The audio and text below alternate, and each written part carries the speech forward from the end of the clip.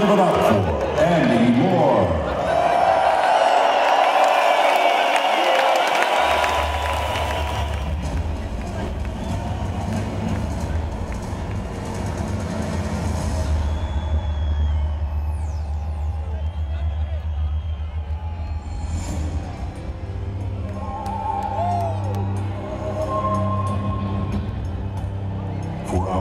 destination to the Far East.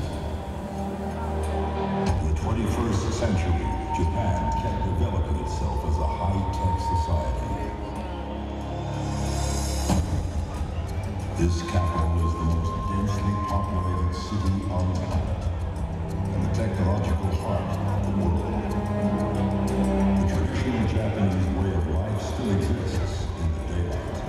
But when the night comes, this city is ruled